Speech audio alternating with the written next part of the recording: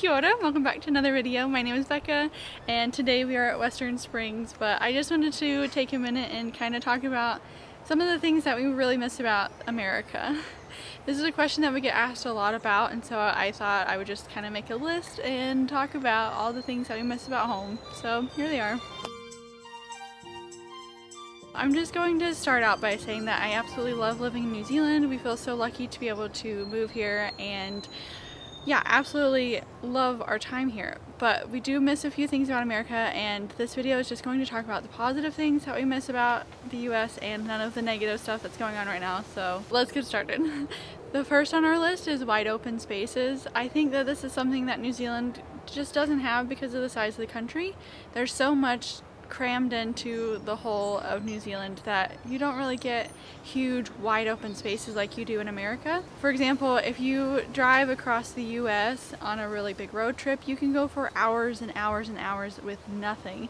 You can drive for 12 hours through a desert and not see anything. You can drive through a ton of prairie lands that are just miles and miles of this vast open space that it I don't really know how to describe what it does to you, but it really does have an effect on you. It's just kind of beautiful and yeah, I don't think you can get that here just because of the size of the country. For example, Texas alone, where I'm from, it takes 12 hours to drive from one end to the next. Like, America is just so big and yeah, that's just something that's not quite the same here in New Zealand. Going along with that, one of the things that I really miss about the US is straight roads. you don't have those here. I mean, of course you do. If you look on a map and try to plan out a road trip or something here, expect it to be double the amount of time because traffic in Auckland and then also the windy twindy roads that you have here. It's pretty crazy. It does make driving here really fun though. It kind of feels like you're on a roller coaster. There's something to be said about straight roads that take you from point A to point B and you can go 80 miles an hour on them. It's pretty great. 80 miles an hour is 128 kilometers per hour, I believe. And then, I mean, honestly, nobody does 80 miles. They're doing at least 90. So that's like 150 kilometers per hour. So yeah, you can get from one place to the next a lot faster in the, the US. Sorry, it's 145, I just checked. The fastest roads I've seen here in New Zealand are 100 kilometers per hour, I think. Those are the motorways. This next point I actually kind of had a hard time putting into words, but it goes along with how big the US is. There's such a, a vast difference in the regional cultures. So there's a lot of diversity, but I'm trying to specifically say like regional diversity. So your experience going to New York City is going to be completely different than going to a small town in Texas or going to a city in the Midwest or a town down in Florida, like a beach resort in Florida or, you know, San Francisco. It's like they have their totally own subcultures and it's just, it almost feels like going to a different country when you're staying in the same country but you're going to a different part of it. So I think that's something that is pretty different than here in New Zealand because New Zealand has more of a sense of cohesiveness, I'd say. One, because of the size of the country, but I think the people are just a little more unified in thought here, maybe, is a way of saying it. Yeah, regional diversity is how I'm saying it. Helicopter.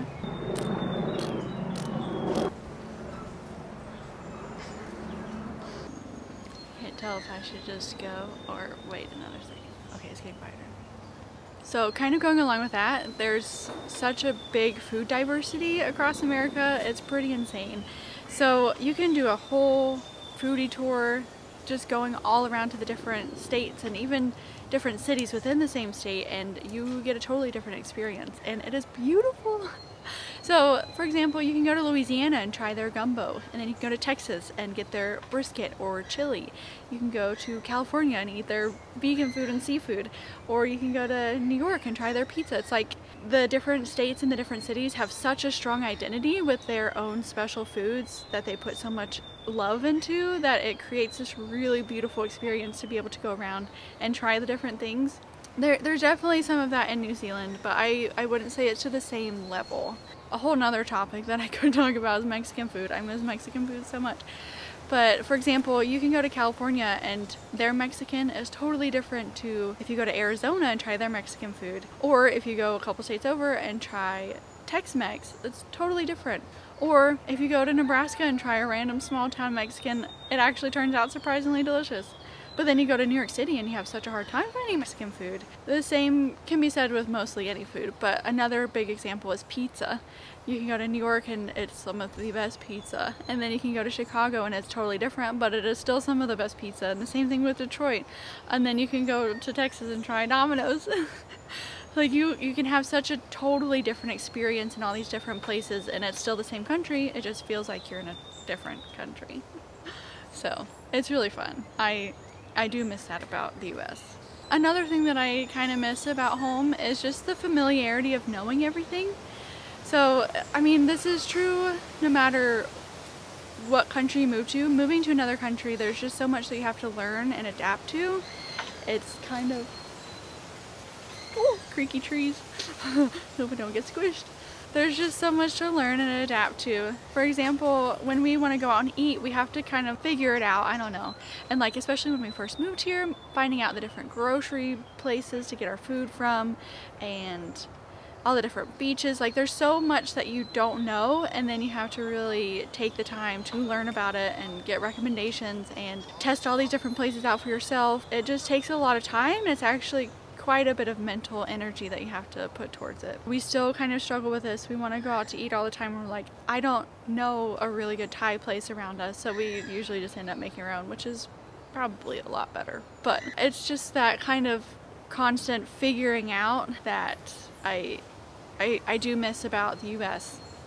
You know, when you're at home, you're at home, everything's familiar, everything is comfortable, I guess is a good way to say it side note, but this is one of the reasons why I love this channel so much because we've gotten so many good recommendations and good help from all of you guys, so thanks for that. Another thing that I really miss about the US is how quick and cheap and easy you can get things shipped to your front door. I know I've talked about this in the past, but oftentimes I will do some online shopping and just give up on trying to get the item because it takes two months to come here and it doubles the price of whatever I'm trying to buy and it's just hard to find and source things and so it's just too much effort. I just go without it.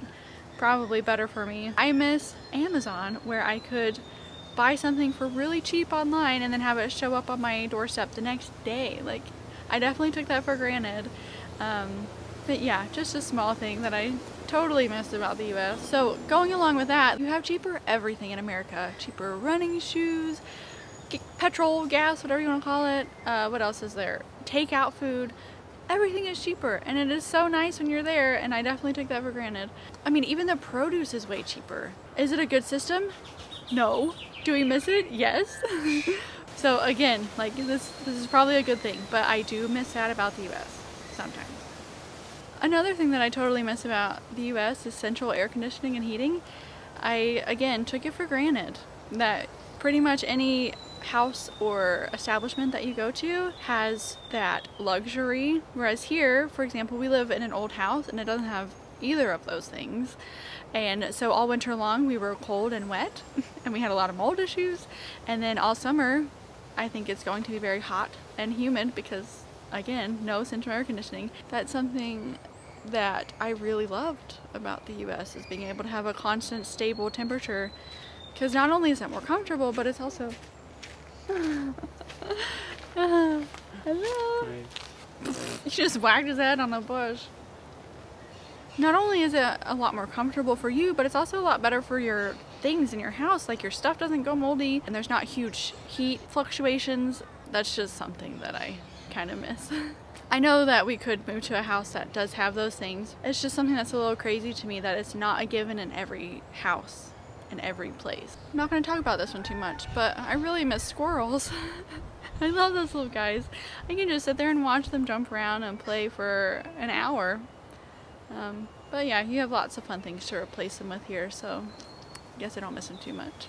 Another tiny thing that we miss all the time is turning right on red. So in America, if you come to a stoplight, if it's safe to go, you can actually turn right on a red light because it's okay. But here, even if you go to make a left turn, which is the equivalent of a right turn, if it's red, you're not supposed to go, and you have to wait for an arrow or the light turn green. So that's just something that's so annoying every time we get into that situation. We're like, oh man, we really miss able to turn right on red. Something personally that we really, really miss are the Rocky Mountains. we lived in Utah for a while and they're just so beautiful and living in Utah you like step outside of your door look out your window and you have this really pretty view of mountains all around and we just really miss the Rockies. We did a lot of hiking in them. We haven't really gotten out of Auckland enough to be able to see the mountains here but we're really excited to because I think it'll just feel a little bit more like home. So this is the last thing on my list and it's just that we really miss family and friends. Obviously, it's the biggest thing that we miss, absolutely. Yeah, people ask us all the time what we miss about home, and that's my number one answer because really, the rest of the stuff, I don't care too much. I can go and visit it or ex experience it again when we go back to visit. But family and friends are definitely, definitely what we miss the absolute most. And I'm so excited for the borders to open so that everybody can come and visit us or we can go and visit them. So that is actually everything on my list. Thank you guys so much for watching.